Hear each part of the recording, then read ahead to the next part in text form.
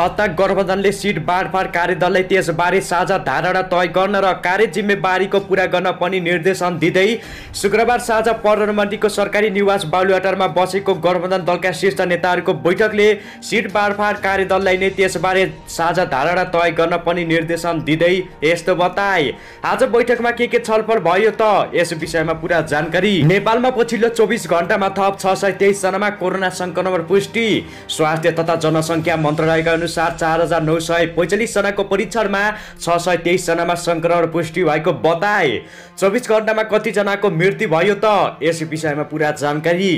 अब नेपालमा फेरि लकडाउन हुन सक्ने दावी। डिभिजन वन कार्यालय सुर्खेतको हिरासत्मक मृत्यु भएका व्यक्तिका आफन्तले कार्यालयका कर्मचारी विरुद्ध किटानी जाहेरी दिए। डिभिजन वन कार्यालय सुर्खेतका चारजना कर्मचारी विरुद्ध आफन्तले किटानी जारी दिँदै आन्दोलनमा उत्रिए।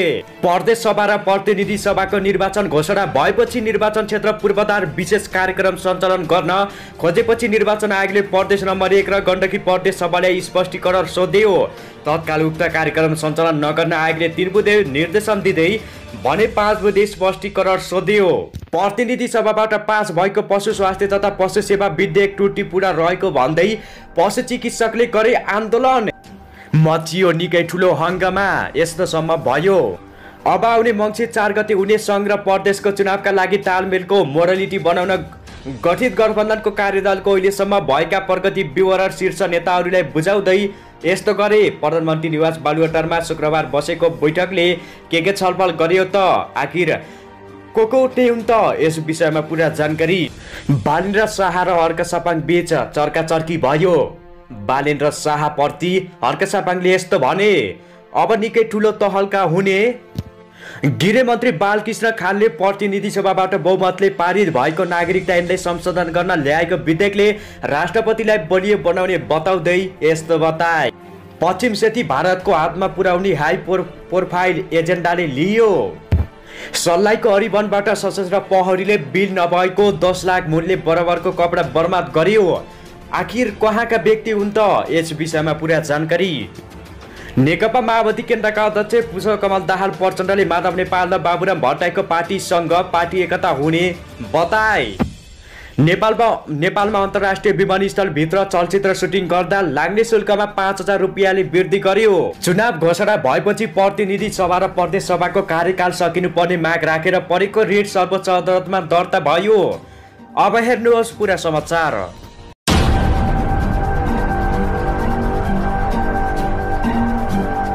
दर्शक महानुभावहरू नमस्कार। अहिले तपाईँहरू हेर्दै हुनुहुन्छ नेपाली मिडिया युट्युब च्यानल। तपाईँहरू माझ देश तथा विदेशका मुख्य मुख्य खबर उपस्थित भएका छौँ। भिडियोलाई भने अन्तिमसम्म हेरिसानो लाइक र सेयर गर्न भने नभुल्नु खोला अहिलेसम्म पनि हाम्रो च्यानललाई सब्सक्राइब गर्नुभएको छैन भने सब्सक्राइब गरी साइडमा रहेको बेलायकन घन्टीलाई बजाई अलमा क्लिक गर्न पनि नभुल्नु खोला दर्शकबिन हाम्रो भिडियो कहाँदेखि हेर्दै हुनुहुन्छ देशदेखि हेर्दै हुनुहुन्छ या विदेशदेखि हेर्दै हुनुहुन्छ हाम्रो अब के कस्तो लागिरहेको छ दर्शकबिन हाम्रो भिडियो रेगुलर हेर्नुहुन्छ भने कमेन्टमा रेगुलर लेख्नुहोस् अथवा हाम्रो भिडियो पहिलोपटक हेर्दै हुनुहुन्छ भने फर्स्ट टाइम भनी कमेन्टमा गई कमेन्ट गर्न नभुल्नु होला आउनुहोस् दर्शकबिन लागौ विषयवस्तुतर्फ। दर्शक महानुभावहरू सत्ता गठबन्धनले सिट बाँडफाँड कार्यदललाई त्यसबारे साझा धारणा तय गर्न र कार्य जिम्मेवारी पुरा गर्न निर्देशन दिँदै आएको छ। शुक्रबार साँझ प्रधानमन्त्रीको सरकारी निवास बालुवाटारमा बसेको गठबन्धनका दलका शीर्ष नेताहरूको बैठकले सिट बाँडफाँडका कार्यदललाई नै त्यसबारे साझा धारणा तय गरेर आउने निर्देशन दिएको बताएका छन्। काठमाडौँमा कार्यदलका संयोजक काङ्ग्रेस नेता कृष्ण प्रसाद सिटौलाले शीर्ष नेताहरूलाई कार्यदलमा भएको छलफल र प्रगतिबारे जानकारी गराएका थिए। सञ्चार मन्त्री ज्ञानेन्द्र बहादुर कार्कीले बैठकमा कार्यदलमा भएको छलफलको प्रगति प्रस्तुत भएको र नेताहरूले त्यसबारे धारणा राखेको जानकारी दिँदै आएका छन्। आजको बैठकमा कार्यदलमा भएको छलफलको निष्कर्षहरू प्रस्तुत भएको छ। नेताहरूले पनि त्यसबारे धारणा राखेको बुझिएको छ। नेताहरूले कार्यदलले नै साझा धारणा बनाउन र कार्य जिम्मेवारी पुरा गर्न निर्देशन दिएको बताएका छन्। अब कार्यदलले चाँडो सिट बाँडफाँडको काम पुरा गर्ने उनको भनाइ रहेको छ। कार्यदलले गत प्रतिनिधि सभा निर्वाचनको प्रत्यक्ष र सामुपातिक निर्वाचनको मत परिणाममा तथा बैशाखमा सम्पन्न स्थानीय तह निर्वाचनको परि परिमाणको आधारमा सिट बाँडफाँड गरेर अघि बढ्ने पनि बताएका छन्। तर दर्शकबिन सतक गठबन्धनमा सिट बाँडफाँडका लागि सिटौला नेतृत्वमा एघार सदस्यीय कार्यदल बनेको छ। कार्यदलमा काङ्ग्रेसबाट नेता सिटौला महामन्त्री गगन कुमार थापा सञ्चार मन्त्री कार्की नेकपा माओवादी केन्द्रबाट नेताहरू वर्षमान पुन देव गुरुङ नेकपा एकीकृत समाजवादीबाट उपाध्यक्ष परमेश हमाल र महासचिव बेदुराम भूषाल जसपाबाट रामप्रसाद यादव र चेपागाई तथा राष्ट्रिय जनमोर्चाबाट हिमाल पुरी र आनन्द शर्मा सदस्य रहेका छन्। दर्शक महानुभावहरू यसै गरी आउनु सभाहरूको खबरतर्फ लागौ। दर्शक महानुभावहरू पछिल्लो चौबिस घन्टामा थप छ सय तेइसजनामा कोरोना सङ्क्रमण पुष्टि भएको छ। स्वास्थ्य तथा जनसङ्ख्या मन्त्रालयका अनुसार चार हजार नौ सय पैँचालिसजनाको परीक्षणमा छ सय तेइसजनामा सङ्क्रमण पुष्टि भएको बताएका छन्। स्वास्थ्य तथा जनसङ्ख्या मन्त्रालयका अनुसार एक हजार छ सय एक्काइसजनाको पिसिआर परीक्षण गर्दा दुई सय छ्यालिसजना र तिन हजार तिन सय चौबिसजनाको एन्टिजेन परीक्षण गर्दा तिन सय सतहत्तरजनामा सङ्क्रमण देखिएको मन्त्रालयको भनाइरहेको छ। यो सँगै कोरोना भाइरसको सक्रिय सङ्क्रमितको सङ्ख्या पाँच हजार चौबिस पुगेको छ। पछिल्लो चौबिस घन्टामा चार सय सतासीजनामा सङ्क्रमण भएको बताएका छन्। जसमध्ये चार हजार आठ सय चौतिसजनामा होम आइसोलेसनमा रहेका छन् भने एक सय दसजनामा संस्थागत आइसोलेसन र उन्चालिसजना आइसियुमा रहेका छन्। यस्तै छजनाको भेन्टिलेटरमा राखेर उपचार भइरहेको मन्त्रालयले जनाएको छ। शुक्रबार थपिएसँगै नेपालमा कोरोना सङ्क्रमितको सङ्ख्या एघार लाख छ्यालिस हजार छ सय सन्तानब्बे पुगेको पनि मन्त्रालयले जनाएको छ। दर्शक महानुभावहरू यसै गरी आउनु सभाहरूको खबरतर्फ लागौ।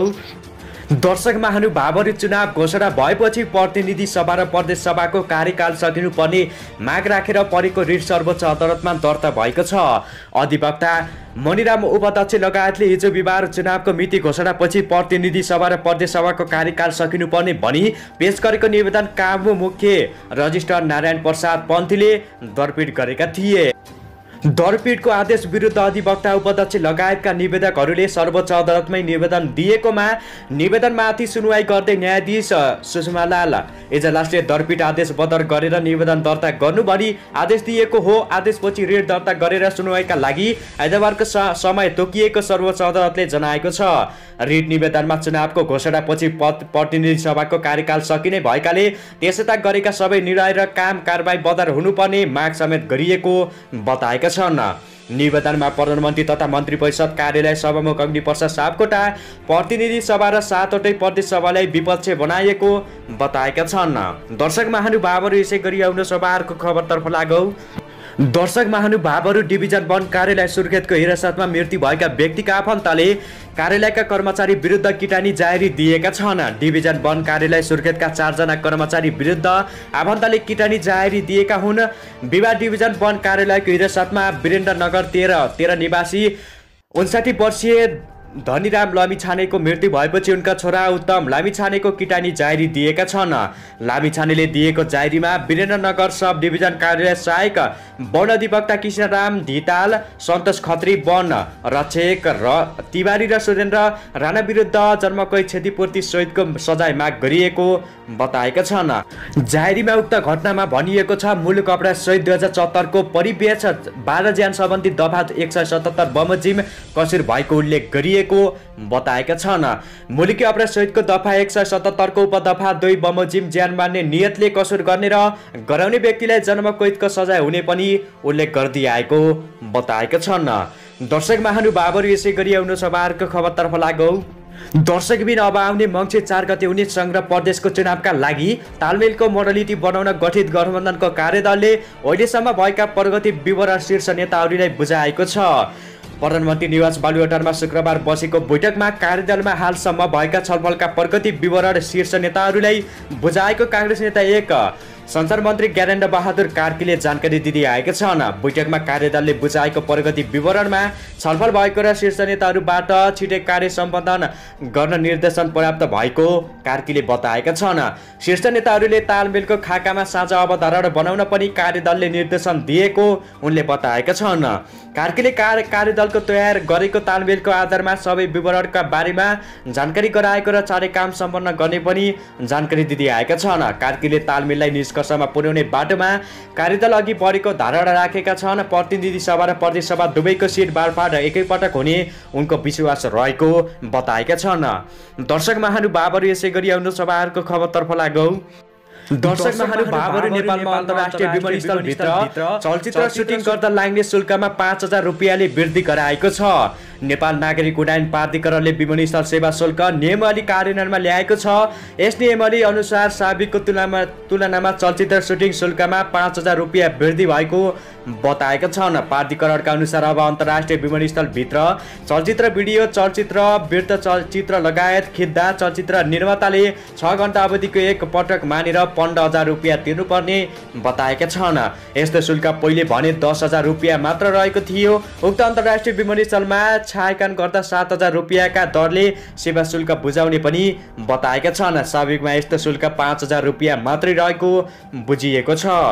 दर्शक महानुभावहरू यसै गरी आउनु सभाहरूको खबरतर्फ लागौ। दर्शक महानुभावहरू नेकपा माओवादी केन्द्रका अध्यक्ष पुष्पकमल दाहाल प्रचण्डले माधव नेपाल र बाबुराम भट्टाईको पार्टीसँग पार्टी एकता हुने बताएका छन्। नेपाल क्षेत्र सम्मेलन उद्घाटन गर्न बुधबार गोर्खा आएका उनले नेकपा एकै समाजवादी र नेपाल समाजवादी पार्टी एकता गर्ने तयार रहेको पनि बताएका छन्। बाबा बाबुरामजी र हामी फेरि एकै ठाउँमा उभिने भयौँ। यो गोर्खाका लागि पनि विशेष महत्त्व कुरा हो उनले बताउँदै आएका छन् चुनावपछि पार्टी एकता हुने स्थिति छ। नेकपा यससँग पार्टी एकता संयोजन समिति बन्छ किनकि माओवादीले पहिले निर्णय गरेको छ समाजवादीले पनि यस्तै निर्णय गरेको। हुनाले पार्टी एकता हुन्छ संयोजन समिति चाहिने चुनाव अघि नै बन्छ भन्दै बताएका छन्। सिट बाँडफाँडको विषय सहज ढङ्गले नै गरिरहेको भन्दै बताएका छन्। यो दिनभित्र बाँडफाँडको विषय टुङ्गिन्छ। हामीले मुख्य आधार गठबन्धनलाई नै बनाउँछौँ। अरूले भन्दा विशेष गठबन्धन बचाउने र चुनाव जित्नेलाई मुख्य आधार बनाइन्छ। तर अब हेर्दाखेरि दुई हजार सत्तरको मत परिणाम र स्थानीय चुनावको मत परिणामलाई पनि हेर्ने कुरा हुन्छ भन्दै बताएका छन्। यसअघि कार्यकर्ता प्रशिक्षण कार्यक्रममा बोल्दै उनले सिट बाड सिट बाँडफाँडका लागि कार्यदलले गरिरहेको काम सकारात्मक दिशातिर रहेको पनि बताएका छन्।